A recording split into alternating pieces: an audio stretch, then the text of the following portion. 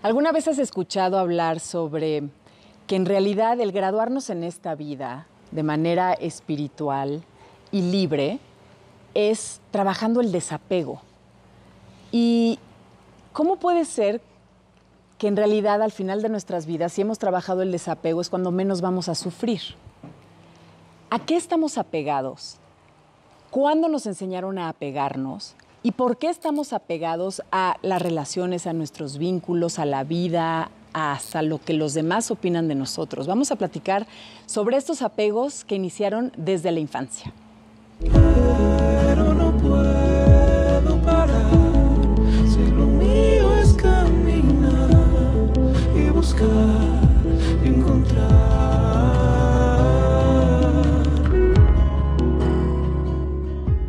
pues para platicar sobre este tema, sobre los apegos, estos apegos que inician en nuestra infancia y que muchas veces nosotros como padres enseñamos los mismos patrones, son buenos o malos los apegos, todo esto lo vamos a descubrir en este camino con Luz, con nuestra querida Aida del Río, que nuevamente está con nosotros. Ay, Luz, Te haces el rogar, mamacita. No. Te haces el rogar. Me No me digas enfermé, que no. me enfermé de COVID, me sé, enfermé, se los sé. juro que tenía muchísimas ganas porque me encanta que abras tu casa, estar aquí contigo. Y yo feliz de que me tenerte. Encanta Caminos de Luz. Gracias, De verdad. gracias, Entonces, Estoy aquí doble, doble, Ay, de, sí, doble doble reforzada. gusto. Eso.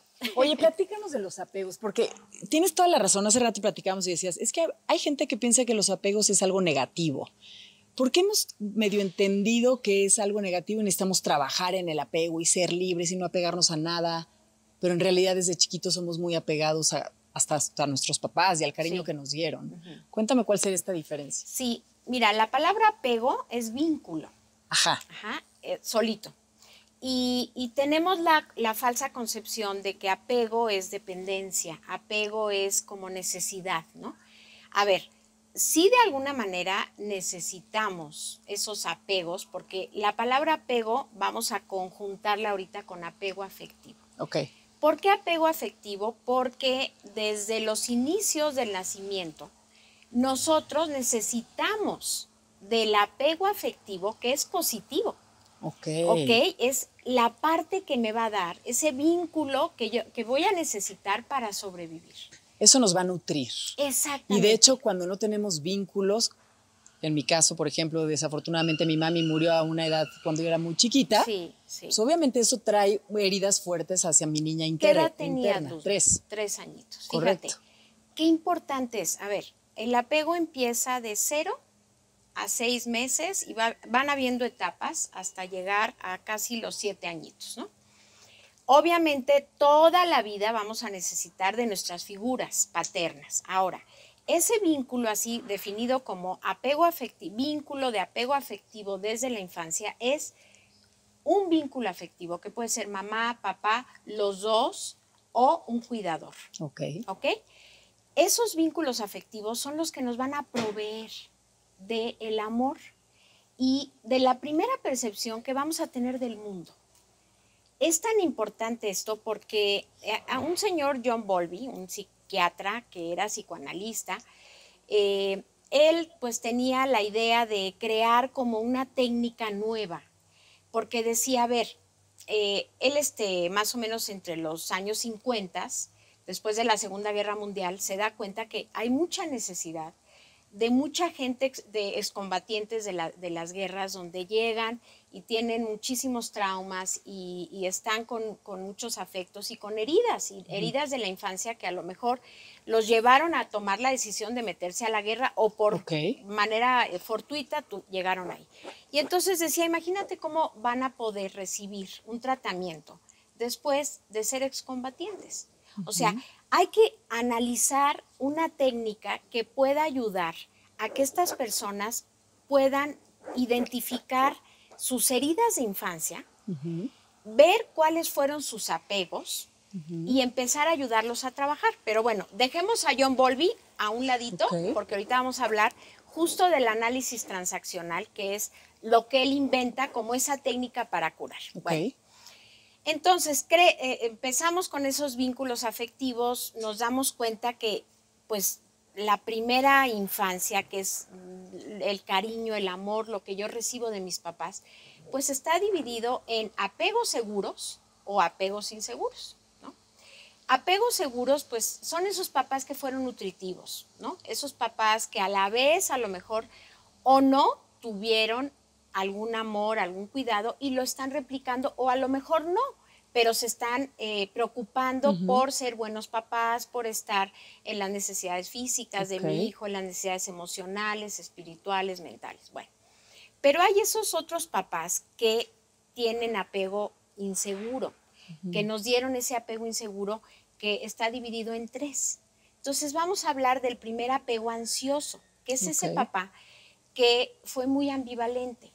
O sea, estuvo, de repente era afectivo, ¿no? O con condiciones, ¿no? El que sé que te condiciona. Exactamente. Y te condiciona o te castigaba o de repente decía el niño, a ver, pero mi papá sí es cariñoso y ahorita ya no viene o, o está ausente Sí. o me castiga mucho. Entonces una ambivalencia que confundía al niño.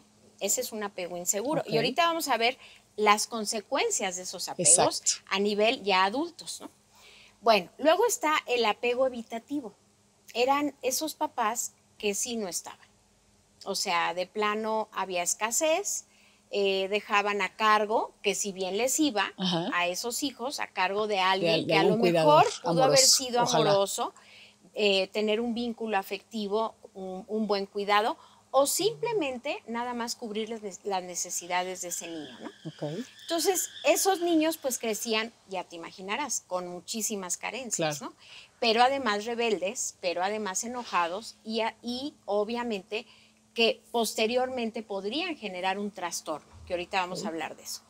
Y después el, el apego, el apego eh, desconfiado del papá que de plan, desorganizado digo, del papá que de plano no tuvo ni amor, eh, a lo mejor fue víctima de violencia intrafamiliar, a lo mejor fue víctima de algún abuso. Y ese papá, pues obviamente no tiene los recursos afectivos. Entonces, no nada más no estoy, sino puedo ser maltratador, o puedo ser muy agresivo, o puedo ser tóxico. ¿Ese cómo se llama este apego? El apego desorganizado. Desorganizado. Desorganizado. Ok. Y entonces, esos tres apegos, pues los niños van, ahora sí que sobreviviendo. Yo creo que todos nos pasa, ¿no? Y cuando tú me dices, yo perdí a mi mami a los tres años, yo te preguntaría, ¿a ti quién te cuidó, Luzma? Pues tuve ah, como primer, primer amor subsecuente sería mi nana. Tu nana, ¿ok? Y, y tú recuerdas ese Sí. vínculo afectivo Sí, sí, sí. amoroso, Al cariñoso? principio, al principio, al principio, sí, recién ausente mi mamá. Ok, Y obviamente mi papá, y bueno, ya más crecida, a los 6, 7 años, mi madrastra. ah, ok. Sí. ¿Y, y tuviste un- una buena figura eh, ¿De madre? afectiva, digamos? Pues digamos que con una, pues con una forma de educar bastante rígida, ella fue muy ed- educada, hijo, bajo un Ok, estándar. mm, sí, de- man- muy conservador, muy, difícil, muy tradicionalista, muy calcitran, calcitrante, Recalcitrante. recalcitrante, ¿sabes? Así. Sí. Entonces, bueno, ella de la misma forma, Es lo que, o sea, nadie da lo que no tiene, así ¿no? es. Bueno, entonces, cuando nosotros vamos creciendo con estas, pues este contexto, ¿no? Como decía Ortega y Gasset, soy yo y mis circunstancias. Híjole, sí. O sea, pues eso es lo que hay, ¿no? Claro, y pero entonces de ahí, y seguramente ahorita vamos a tocarlo porque lo dijiste, Sí. en la adultez, ese niñito y esos apegos y esas heridas ahí están, Ahí están. y son quienes rigen muchas veces nuestras actitudes y nos- Exactamente, exactamente. Mira, yo como terapeuta te puedo decir, y, y- y yo misma, ¿eh? yo te puedo decir que yo también tuve, eh, bueno, tuve a mis papás, tuve dos vínculos afectivos, pero tuve una mamá que vivió una circunstancia, era hija de la, de la Guerra Civil Española, eh, hubo un divorcio en casa, y mis papás se separaron, mi mamá quedó muy lastimada, entonces yo era la chiquita, yo viví eh, eh, el apego evitativo, pero tuve una hermana que suplió esa parte, que es, la amo con toda mi alma, mi segunda mamá, Wow. eh, cinco años y medio me llevaba y realmente asumió esa, pues yo te puedo decir, compromiso, responsabilidad. Y yo cubrí mi vínculo afectivo con ella, Te salvaste. me salvé. Y mi papá de alguna manera, a su man- a- en- Te de manera daba también. indirecta, este, también llegó a, a darme esa parte, en, sobre todo en la primera infancia, ¿no? Entonces, ¿cómo vamos creciendo? Vamos creciendo con todas esas creencias, pero obviamente no nos damos cuenta, ¿no? ¿Por qué? Porque además, bueno, tú y yo, que tú eres mucho más joven que yo, pero venimos de generaciones donde pues hoy la psicología es mu- mucho mejor vista, es más, eh, más fácil que educacionalmente vayamos y metamos a nuestros hijos a terapia, Claro. etcétera. Pero ¿cuántas de estas generaciones sobrevivíamos, no? Uf, Sí, a Años partir atrás. y llegabas a- a- al colegio y era pues la selva de asfalto, porque además, ¿qué es lo que pasa con estos niños, no? Que, que ellos van con los pocos recursos que vas adquiriendo, porque la primera escuela de seguridad y de afecto es la familia, es el hogar, ¿no? Entonces te, lanzas al mundo y pues obviamente vas librando inseguridades, baja autoestima, em, situaciones, eh, ahorita que te escuchaba, todos tenemos trastornos. La OMS, Luzma, habla de que todo, todos tenemos un promedio de 500 mil fobias. O sea, Sí, sí, si no sí. es una fobia a una cosa, si no es un miedo exagerado a otra, etcétera, ¿no? Entonces, todos tenemos alguna situación mental que tenemos que trabajar. sin ¿no? duda. Ahora, ¿qué podemos hacer? ¿no? Porque Caminos de Luz es un programa donde yo, yo quisiera que la gente que nos esté escuchando no diga, híjole, entonces, como dijo Freud, infancia, destino, ya me fregué. No es cierto. eh, ya no puedo hacer nada, tuve una adolescencia fatal, a lo mejor estoy eh, enredado en una adicción, a lo mejor tengo un trastorno, ¿qué puedo hacer? No. O sea, yo lo que quiero es que hoy tengamos muy claro que podemos reparentalizarnos.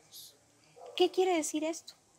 Reparentalización es una técnica psicológica donde nosotros tenemos la posibilidad, Luzma, y tú lo haces. Tú reparentalizas con tus programas, con tus colaboraciones. Yo reparentalizo con mis pacientes.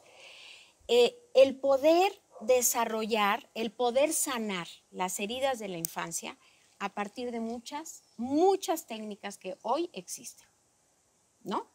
La técnica del niño Eh, lastimado, niño la herido. técnica del niño herido, la técnica del yo adulto que, que, que puedo curar al niño, al niño herido. Pero justo estás dándole al meollo del asunto. Sí. Es volteando a ver a la Aida chiquita que vive dentro de ti. Y siento que el gran problema es que olvidamos esa existencia. Y estamos, y, y- y- y nos está manejando nuestra niña pequeña en reacciones que son de repente intolerantes y que son de repente irracionales, pero no, no estamos yendo hacia rescatar y hacia volver a abrazar a esa chiquita que está herida. Sí, y justo con eso me engancho a hablar de Volvi. Ajá. Este, John Bowlby, este psicoanalista que les platicaba al inicio, eh, él habla del análisis transaccional. Es una técnica donde él dice, a ver, si estas personas no tienen la posibilidad de ir a una terapia y de pagar y de hacer y demás, a ver, vamos a hacer una, una distinción de que existen tres estados del yo. El papá, el padre, el adulto y el niño. Y entonces vamos a ubicarnos que todos tenemos esos tres estados del yo. Y como bien lo decías, muchas veces cuando yo no he curado a mi niño interior, pues el que sale es mi niño interior. Entonces salen reacciones, sale en emociones, salen instintos, salen toma de decisiones precipitadas, salen impulsos. Y entonces voy arrastrando la cobija, Luzma, y voy cometiendo error tras error. Y ahí es donde hay gente que llega a la, a la consulta y me dice, Aida, es que yo no tengo suerte. A ver, olvídate de eso. La suerte no existe. Lo que pasa es que hay que trabajar con tu niño lastimado. Hay mucho dolor allá adentro y vamos a hacernos hoy como adultos responsables. Y entonces el chiste es volvernos padres de, esa, de ese chiquito. Sí, en momentos el padre, lo voy a ir describiendo, el, el padre es toda la figura de creencias, ¿no? La rigidez, la moral, las religiones, el deber ser, ¿no? Que en momentos lo somos, ¿sí? Pero a veces ese padre choca mucho con el niño, ¿no? Y entonces cuando yo tengo, vamos a pensar en un esquema donde una persona tiene sus tres estados del yo, la otra persona tiene sus tres estados del yo, y lo ideal es eh, relacionarme de manera directa. Si estoy en el padre, pues platicar desde el padre. Pero si estoy desde el padre al niño, ¿cómo le va a ir a, a esa, a esa pareja, por ejemplo? Sometimiento, control. Sometimiento, autoridad moral. control, manipulación, ¿sí? ¿Por qué? Porque además no me doy cuenta. Uf. Todo esto está en el inconsciente. espérame, me dijiste tres. El padre, el niño. el adulto Ajá. y el niño. El adulto es el del medio. Ajá, el adulto, Padre, adulto y niño. Ajá, es el- el racional. El adulto es el que pone en orden al papá y al niño. El adulto es el que eh, es el que es coherente, el que pone estar aterrizado, el que trabaja mucho su lóbulo frontal, el que va concientizando, racionalizando las cosas. Ahora, no es que sea malo uno o el otro o el otro, porque también es padrísimo ser niño. También es importante sacar a mi niño de repente y ser alegre y hablar de mis emociones y, y manejar mis instintos y mi, y mi, mm, intuición en momentos, ¿no? Pero saberlo hacer y darme cuenta. A ver, ¿desde dónde estoy hablando? Estoy muy enojada. ¿Desde dónde estoy hablando? ¿Desde el niño? ¿Me conviene en este momento, en mi contexto, hablar desde el niño o dejar que me pase la emoción e irme al adulto? Ok, entonces es como hacer, esta técnica nos va a servir como para hacer una pausa antes de tomar decisiones, antes de reaccionar, antes de tener una plática. O sea, es Para como para explorar dónde están tus emociones. y comunicarnos con el otro. Identificar, por ejemplo, en una relación de pareja, si yo identifico que mi marido me está hablando desde el niño y yo lo, me doy cuenta y me está molestando, indirectamente voy a dejar de confrontarme. Solo porque te diste cuenta que te está lastimando su- sus... Te está desesperando. Me está Que se desesperando. esté relacionando desde el niño. Exactamente, pero, pero si está desde el niño, él no está concientizando que está desde el niño y probablemente es- está hablando desde el impulso. ¿sí? O desde sus emociones, eh, no está gesti- gestionando emociones. Entonces, si yo le digo, a ver, ¿qué te parece si hablamos después? Y me conecto con él después, desde el adulto. O sea, no, es, es, es Es que... como una esquizofrenia no, sana, ¿no? sí, o sea, es una locura, pero Espérame, también pero es espérate, fascinante. espérate, otra cosa, hablando de la Sí. pareja, y esto pues obviamente vas a dar la razón porque eres terapeuta y pues tú vas a decir que todo el mundo vaya a terapia, pero ¿qué pasa cuando estás en una relación? Ujú. Dos cosas. Cuando, por ejemplo, ok, yo por mis circunstancias de vida pues tengo una niña Luzma herida, Sí. ¿No? Sí. Este, y pon tú que escogí una pareja con una vida un poco más normal, ¿no? No con tantas Probablemente un apego seguro. Seguramente Yo me estoy apegando con un apego te apegas seguro. con un apego Pero entonces seguro. a la hora de que, pon tú que yo me empiezo a trabajar porque quiero concientizar y quiero crecer y evolucionar y mi pareja no. Ok. ¿No sientes que ahí como que se desvirtúa Sí, el sí, tema de, la pareja? De hecho, muchas veces hay parejas que truenan porque uno va adelantando en el camino y el otro se queda. Y entonces Pero ahí- por más de que el otro no haya tenido tantas broncas emocionales como la- el de acá, siempre hay, siempre hay que estar como... siempre, pero, pero esto es la comunicación, porque tampoco puedo pretender que el otro va a caminar a mi, a mi, mi mismo ritmo. ritmo. Yo puedo tener experiencias que me hicieron crecer, pero para eso es la comunicación justamente. Porque yo puedo tener la paciencia y comprender desde dónde está él también. Y si hay amor y hay comunicación y hay entendimiento, él también va a entender y va a decir, ah, mira, ya está adelantando. Entonces, hay un proyecto en común, que no es ni Aida ni, ni Pepe en este caso, que es el nosotros, y entonces hacia el nosotros vamos. Qué bonito. Es, es hermoso esto. Cuando yo me dejo de ver, y entonces me sí, o sea, salgo, vamos a luchar por el nosotros o me cada voy a quien la va a seguir canasta, viendo me voy sí? a la canasta. Sí. Y, y entonces digo, estoy poniendo en riesgo. Y si yo no adelanto, pues ¿qué quiero hacer? ¿No? Pero entonces, regresando a esto de los apegos, eh, que bueno, es parte de lo que estamos platicando, es muy interesante porque, eh, te digo, John Bowlby habla de esta técnica donde podemos empezar a reparentalizar. ¿no? O sea, el yo, el padre, el niño, ¿no? ¿Y cómo vamos a curar estas heridas? Porque a veces decimos, bueno, hacemos un ejercicio de, sanar a mi niña, ¿no? Te juro, Luzma, que yo he visto, porque me ha pasado y lo he constatado en mí, nos sigue saliendo la niña. ¿Cómo crees que no? Por supuesto que sí. lastimada, aunque la haya trabajado de cabeza. Yo he tomado psicoanálisis, este, logoterapia, gestalt, o sea, todas las técnicas corrientes habidas y por haber. Y de repente te sale la niña lastimada y entonces te aferras a, no, es que de verdad no tolero a esa persona porque, a ver, espérate, espérate, Aida.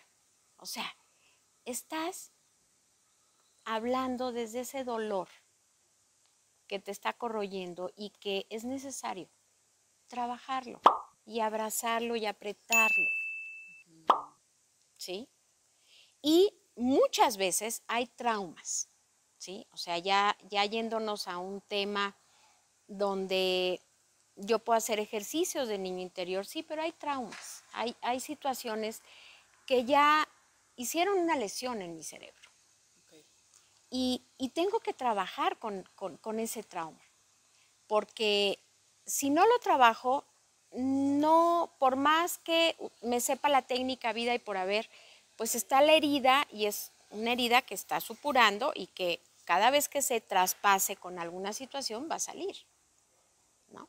Entonces, cuando yo te hablaba hace ratito de que, por ejemplo, con apegos evitativos podemos generar un, por ejemplo, un estrés postraumático o puedo generar un trastorno de la personalidad este, limítrofe. Entonces, estas personas están sufriendo todo el tiempo, ¿no? Con situaciones que no saben qué está pasando en su interior. Esto es, ya es un extremo de, pero también es posible sanar. es muy posible sanar, es muy posible que podamos eh, con la terapia, con la reparentalización, que también la reparentalización se puede dar con libros, se puede dar con algo que me pescó y me hizo switch y de repente hay gente que tú ves y dices, qué avance tan maravilloso ha tenido, ¿no? O sea, la yoga, meditar, eh, hacer el ejercicio, darme cuenta qué pasa en mi cuerpo, qué sustancias puedo mover y cómo puedo ir modificando mis hábitos.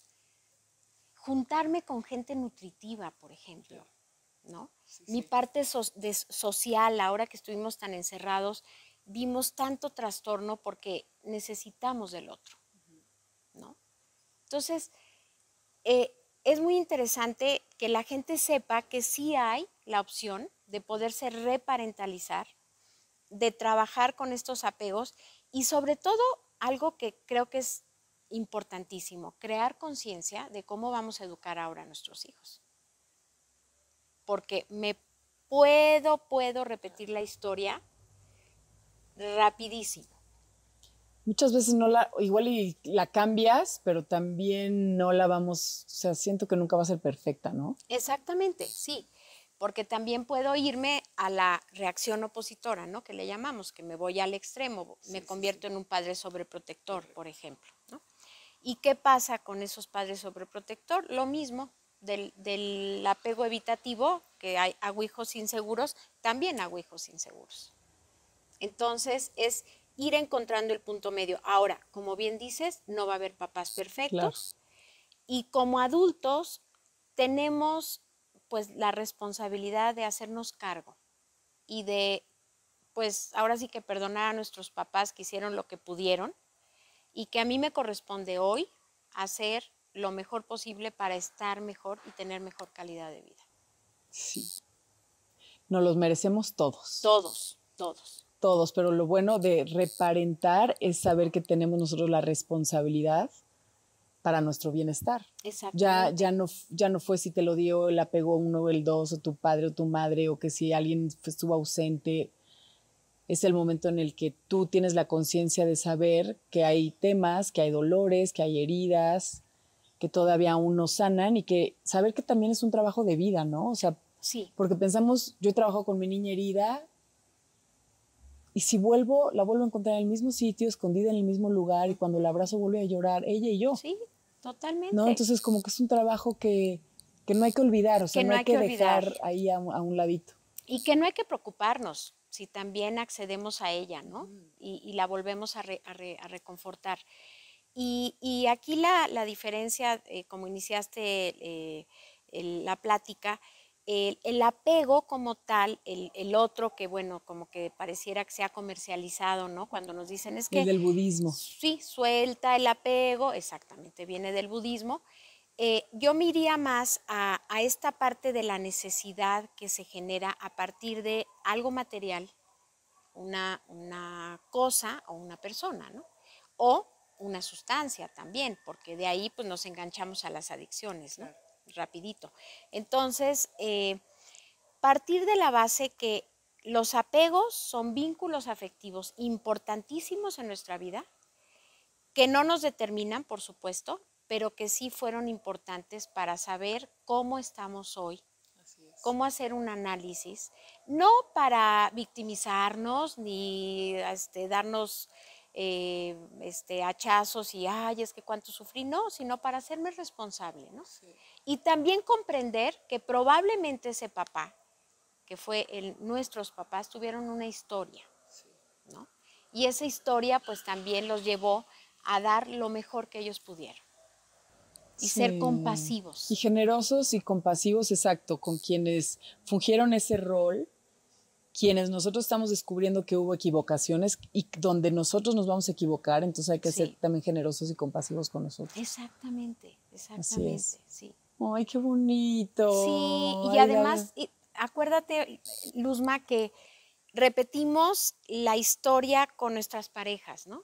100%. Entonces, cuando tuvimos un, un papá evitativo o un papá ansioso, ambivalente, pues de alguna manera voy a saber relacionarme con mi pareja a partir de ahí, porque es lo que yo conozco. Si no hay trabajo, ¿no? si no hay conciencia. Entonces, yo invitaría a que observemos hoy como adultos cómo te estás relacionando, cómo si te hace sentido lo que estamos platicando a partir de esos apegos y no porque esto sea algo catastrófico, sin- simplemente es, a ver, voy a poner conciencia y voy a ver desde dónde puedo remediar y, e ir corrigiendo y conociéndome. Qué bonito. Recuérdanos, eh, hay el libro que dijiste de este autor que... Sí, John, John Bowlby, bueno, eh, creo que tiene varios, ¿eh? Varios, este, la, la- la teoría del, la del lectura. estado, de los tres estados del yo. Este, hay varios libros también de reparentalización. Eh, y bueno, yo recomendaría mucho, ¿sabes qué? Eh, para restablecer la autoestima, los seis pilares de, de este, Natalie Branden. Impresionante libro. Impresionante. seis pilares. Los seis pilares de la autoestima. anótalo, mija. Sí, los seis pilares de la autoestima de Natalie el Ok. Branden.